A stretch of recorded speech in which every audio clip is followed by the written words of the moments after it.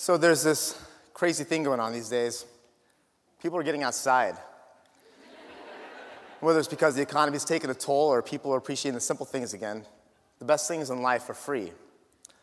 I was personally encouraged in the way of a DUI to ride a bike for primary transportation. and after five years of habitual biking, I've been forced into a well oiled, fire breathing biocycle, a bicycle. And my mode is out of the box or off the grid as I cut through side streets and canal paths, slashing perpendicular lines across the asphalt. On a bike, you can quite literally go anywhere you want, unrestricted by the uniformity of city streets. Yours is a road less traveled. This awakening grew parallel with a noticeable jump in uh, Tempe bike traffic.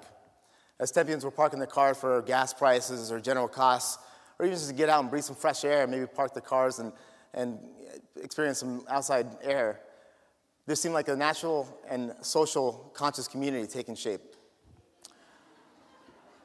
I like to say, cyclists wave high, motorists just drive by. I became gymnauseated with time as my outdoor fitness became more and more inventive and dynamic, as my gym experience became more dull. The outdoor, outdoor culture seemed to naturally align itself with omnidirectional biking, and I felt like the inside gym was constricting and furthermore an affront to my noble creative spirit. Cold white drywall, expensive rubber carpets, and stale farty air, not to mention the, the funhouse of mirrors that ever remind us how inadequate our body shape and size is. And we all pay for this dismembership. It seems so dumb. But this wasn't freedom. I put down the expensive dumbbells and walked out the door in spring 2011 and devoted myself to the experiment and development of grass is greener fitness. And I've had unique insights in my externalized recreational laboratory, observing my streams of thought and the depth of my silence, imbibing the calmness and timelessness of the world around me, even stretching space time continuum and drawing closely the singularity of pleasure and pain. I've talked to owls and witnessed eclipses I would not have had I been in a car at home. We are enlightened beings of a supernatural order, but we lack the vision of the will to become tr- truly transformed. It's like we all have yuckies. And yuckies are what cause imbalance or weakness.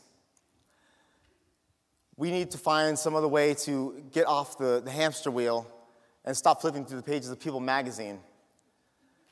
We are meant to be fulfilled, to laugh, dance, and sing, to spring into summer and fall back into winter with a child's delight and naivety.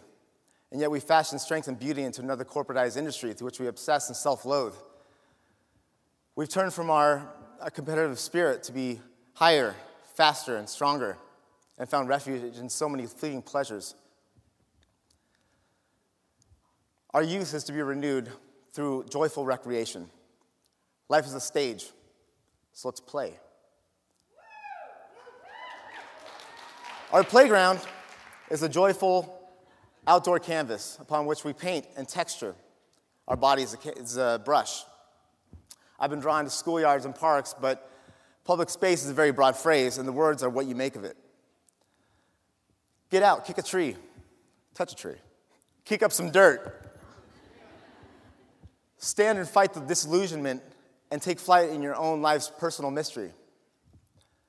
These uh, fight or flight mechanisms seem so hideous, cast as savage reactions to a threatening world, and yet there's such a powerful response to their ignition.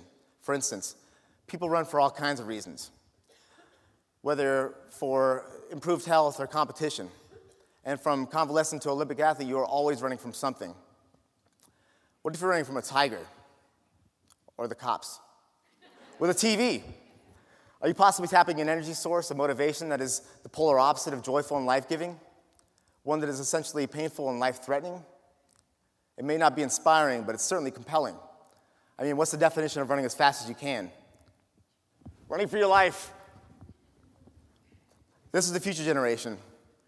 They will be dancers and singers, cellists and pianists, as joyful on stage as they are content in their own homes.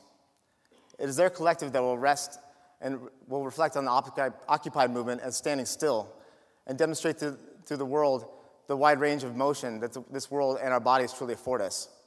I challenge you today to step outside tomorrow and allow recreation to, come, to channel through you, spontaneous and natural. I'm Stephen Bohn, and we are putting the gym back in the jungle. March 4th. Thank you.